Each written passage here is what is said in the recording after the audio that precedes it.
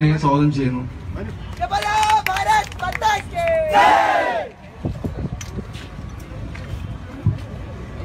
A B V പിയുടെ കർമ്മധീരരായിട്ടുള്ള പ്രവർത്തകന്മാരെ പ്രിയപ്പെട്ട ദൃശ്യപത്ര മാധ്യമ സുഹൃത്തുക്കളെ പോലീസ് അധികാരികളെ കേരള വാഴ്സിറ്റിയിലെ പരീക്ഷാ ക്രമക്കേടുകൾ സി ബി ഐ അന്വേഷിക്കുന്ന കലാലയങ്ങളെ ജനാധിപത്യത്തിന്റെ കേന്ദ്രങ്ങളാക്കി മാറ്റുക.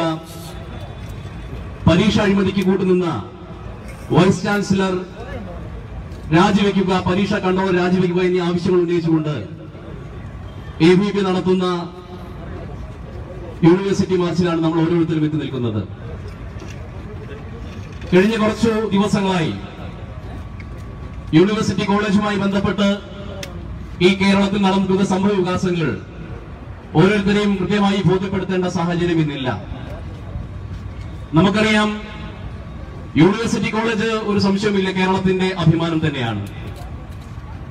നിരവധി അനവധി മഹാരഥന്മാർക്ക് അവർക്ക് ജീവിതവും ആത്മാവും നൽകിയിട്ടുള്ള യൂണിവേഴ്സിറ്റി കോളേജ്. ഭാരതത്തിന് ഒരു പ്രസിഡന്റിന്റെ സംഭാവന നൽകിയിട്ടുള്ള യൂണിവേഴ്സിറ്റി കോളേജ്. രണ്ട് മുഖ്യമന്ത്രിമാരെ കേരളത്തിന് സംഭാവന നൽകിയിട്ടുള്ള കോളേജ്. എം എസ് സ്വാമിനാഥനെ പോലെ പ്രഗത്ഭനായ അന്ന ചാണ്ടിയെ പോലെ പ്രഗത്ഭനായിട്ടുള്ള ഒ എൻ വി കുറുപ്പിനെ പോലെ പ്രഗത്ഭനായിട്ടുള്ള നിരവധി അനവധി മഹാരഥന്മാർക്ക് ജന്മമെടുത്ത കോളേജാണ് യൂണിവേഴ്സിറ്റി കോളേജ് ആ ഒരു അർത്ഥത്തിൽ കേരളത്തിന്റെ അഭിമാനമാണ് യൂണിവേഴ്സിറ്റി കോളേജ് പക്ഷേ ആയിരത്തി തൊള്ളായിരത്തി എൺപതുകൾ മുതൽ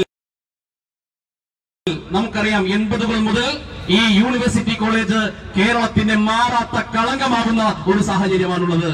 കാരണം മറ്റൊന്നുമല്ല ഒരു ഫാസിസ്റ്റ് സ്വഭാവമുള്ള ഒരു സംഘടന യൂണിവേഴ്സിറ്റി കോളേജിനകത്ത് ആധിപത്യം സ്ഥാപിച്ചാൽ എങ്ങനെയായിരിക്കും ഈ രാജ്യത്തിലെ ജനങ്ങളും വിദ്യാർത്ഥികളും സഞ്ചരിക്കുക എന്നുള്ളതിനുള്ള ഉദാഹരണം മാത്രമാണ് യൂണിവേഴ്സിറ്റി കോളേജ്.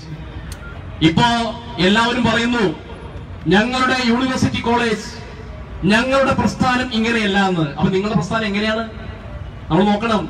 എനിക്കൊരു സിനിമയിലാണ് ഇത് ഓർമ്മ. ജഗതി ശ്രീകുമാർ പറയുന്നുണ്ട് ഒരു സിനിമയിൽ മേലെപ്പറമ്പിൽ ആൺവീട്ടിൽ എന്റെ ഗർഭം ഇങ്ങനെയല്ല. ഇപ്പോ ഒരു സംഘടന പറയുന്നു ഞങ്ങളുടെ പ്രസ്ഥാനം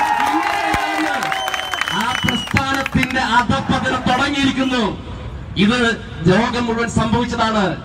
ഏകാധിപത്യത്തിന്റെ കോട്ടകൾ മുഴുവൻ തച്ചു തകർത്തത് വിദ്യാർത്ഥി സമരങ്ങളാണെന്ന കാര്യം നിങ്ങൾ യൂണിവേഴ്സിറ്റി കോളേജിനകത്ത് നമ്മൾ കണ്ടത് ഒരു വിദ്യാർത്ഥി സമൂഹത്തെ മൂന്ന് പതിറ്റാണ്ടുകളായിട്ട്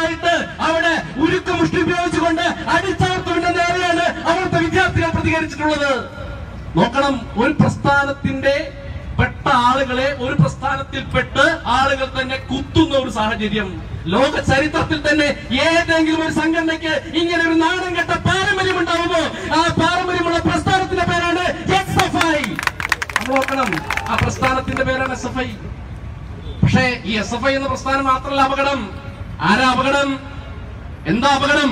ഏറ്റവും വലിയ അപകടകാരികൾ അവിടെ പഠിപ്പിക്കുന്ന കേരളത്തിലെ ഈ രാവണ കോട്ടകളിൽ പഠിപ്പിക്കുന്ന എ കെ ജി സിറ്റി എന്ന് പറയുന്ന അധ്യാപക പ്രസ്ഥാനത്തിന്റെ ഏഴാം മൂലികളായിട്ടുള്ള അധ്യാപകർ എന്ന സമൂഹത്തിൽ തന്നെ ചീത്ത പേര് നൽകുന്ന എ കെ സിറ്റിയുടെ ആളുകളാണ്.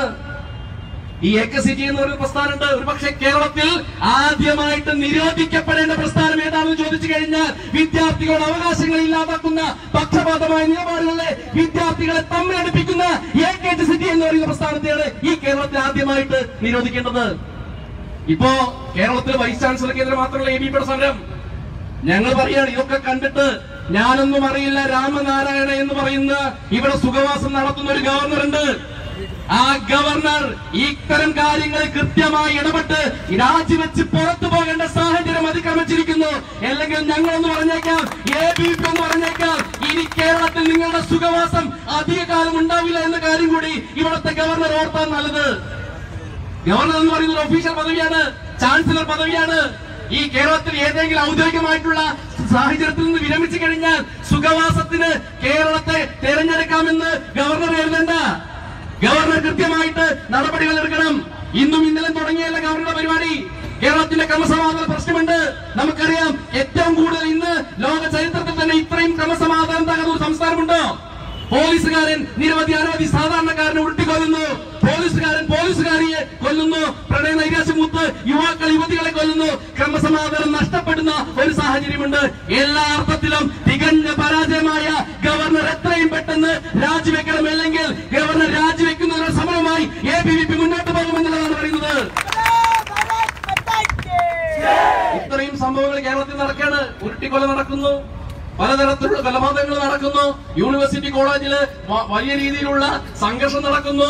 നമുക്കറിയാം നമ്മൾക്ക് ഓരോരുത്തരും സാധാരണക്കാരനും യുവജനങ്ങളും ഒക്കെ എല്ലായ്പ്പോഴും അവന്റെ പ്രതീക്ഷയായിട്ടുള്ള പി എസ് സി പരീക്ഷ പരീക്ഷ പരീക്ഷകളിൽ പോലും തട്ടിപ്പ് നടത്തുന്ന ഒരു സാഹചര്യം ഇന്ന് വേറൊരു സംസ്ഥാനത്തും കാണില്ല. അത് കേരളത്തിലാണ്. ഉപകാര സ്മരണയായിട്ട് എസ് എഫ് ഐക്കാരന് ഫസ്റ്റ് റാങ്ക് കൊടുക്കേണ്ട ഒരു സാഹചര്യം. എന്തിനാണ്? ഇത്രയും കാലം മൂന്ന് വർഷമോ അഞ്ചു വർഷമോ യൂണിവേഴ്സിറ്റി കോളേജിൽ ഒരു പറ്റം വിദ്യാർത്ഥികളെ ആടുകളെയും പശുക്കളെയും പോലെ മേയ്ക്കുന്നത് പോലെ മേച്ചു നടന്നതിന്റെ പ്രത്യുപകാരമായിട്ട് പി എസ് സിയിൽ നിയമനം കൊടുക്കുന്ന ഒരു സർക്കാർ. ആ സർക്കാർ ഇനി കേരളത്തിൽ നിലനിൽക്കണമെന്ന് നമ്മൾ ചിന്തിക്കേണ്ട സമയം കഴിഞ്ഞിരുന്നു ഇവിടെ ഇപ്പോ നാൽപ്പത്തി ഒമ്പത് പേരുടെ കത്തിനെ കുറിച്ചാണ് ചർച്ച. ഇപ്പൊ നാൽപ്പത്തി ഒമ്പത് പേർക്ക് ഇതൊന്നും വിഷയമല്ല. കേരളത്തിൽ നിരവധി അനവധി സംഭവങ്ങളുണ്ട് ഉരുട്ടിക്കൊലകളുണ്ട് നിരന്തരമായിട്ട് ആൾക്കൂട്ട കൊലപാതകങ്ങൾ നടക്കുന്നു. കഴിഞ്ഞ ദിവസമാണ് നൈരാശ്യം മൂലം ഒരു ജാതി വിവേചനത്തിന്റെ പേരിൽ ഒരു ആദിവാസി പോലീസുകാരൻ ആത്മഹത്യ ചെയ്യുന്ന ഒരു സാഹചര്യം. ഇപ്പോ ഇവർക്ക് ഇതൊന്നും പ്രശ്നമല്ല. ഈ നാൽപ്പത്തി ഒമ്പത് ആളുകൾക്ക് പ്രശ്നം ശ്രീരാമനാണ്. എന്തിനാണോ ശ്രീരാമന്റെ പേര് പറഞ്ഞുകൊണ്ട് ഈ നാടിനകത്ത് വർഗീയവൽക്കരണത്തിന്റെയും ഈ നാടിനകത്ത് വിഭാഗീയതയുടെയും പ്രവർത്തനങ്ങൾ നിങ്ങൾ നടത്തുന്നത്? എന്തിനാണ് നിങ്ങൾ നടത്തുന്നത്?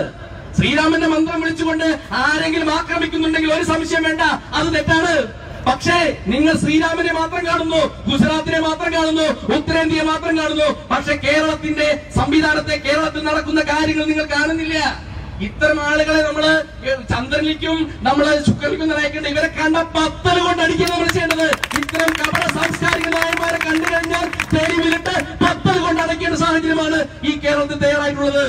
അതുകൊണ്ട് ഈ നാട്ടിലെ മുഴുവൻ ജനങ്ങളോടും ഉത്തരവാദിത്തപ്പെട്ട സംഘടന എന്ന നിലയിൽ എ ബി പി പറയുകയാണ് ഇത്തരത്തിലുള്ള ക്രമക്കേടുകൾ നടത്തുന്ന സംവിധാനങ്ങളെ മുഴുവൻ പൊളിച്ചത് കൊണ്ടുവരണം ഈ സംവിധാനങ്ങളെ മുഴുവൻ കേരളത്തിൽ പുറത്തു കൊണ്ടുവന്ന് ജനാധിപത്യ കലാലയങ്ങളാക്കണം. നിങ്ങളുടെയൊക്കെ ഓരോ രാവണ കോട്ടകളുമുണ്ട് ഒരു സംശയം വേണ്ട നിന്റെയൊക്കെ ആദ്യത്തെ രാവണ കോട്ടയായ ബ്രണ്ടൻ കോളേജിൽ എ ബി പിയുടെ ഒരു സംശയം വേണ്ട. നിങ്ങൾ അങ്ങനെ യൂണിവേഴ്സിറ്റി കോളേജ് എ ബി പിക്ക് അപ്രാപ്യമാണെന്ന് കരുതണ്ട. നിന്റെ രാവണക്കോട്ട തകർത്തുകൊണ്ട് ഒരു നാൾ എ ബി പി അവിടെ വരും. അത് നീ കണ്ടോ? എസ് എഫ് ഐക്കാരാ ഇവിടുത്തെ കെ എ കെ എന്നാണ് എനിക്ക് പറയാനുള്ളത്.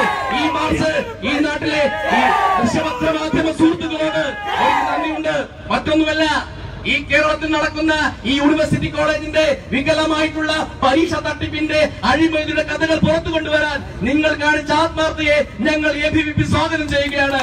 ഒരു സംശയം വേണ്ട നിങ്ങളില്ലായിരുന്നെങ്കിൽ നിങ്ങളുടെ കൽപ്പിച്ചില്ലായിരുന്നെങ്കിൽ അവരുടെ ഗുണ്ടായസത്തിന് മുമ്പിൽ മാധ്യമ പ്രവർത്തകർ മുട്ടുമടക്കിയിരുന്നെങ്കിൽ ഈ കേരളത്തിന്റെ ഒരു കോളം വാർത്തയിൽ വരേണ്ട സാഹചര്യത്തെ ലോകം മുഴുവൻ കേരളം മുഴുവൻ ഇന്ത്യ മുഴുവൻ പ്രചരിപ്പിച്ച ഇവിടുത്തെ ദൃശ്യപത്ര മാധ്യമങ്ങളോട് ഞങ്ങൾ നന്ദി രേഖപ്പെടുത്തുകയാണ്. ഒരു സംശയം വേണ്ട.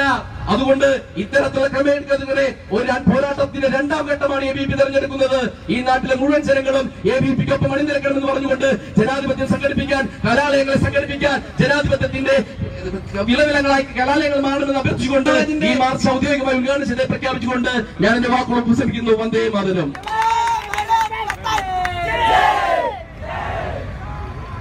മാർച്ച് അഭിസംബോധന ചെയ്ത് സംസാരിക്കാനായി എ വി പിയുടെ സ്റ്റേറ്റ് സെക്രട്ടറി വി മനുചേട്ടനെ സ്വാഗതം ചെയ്യുന്നു.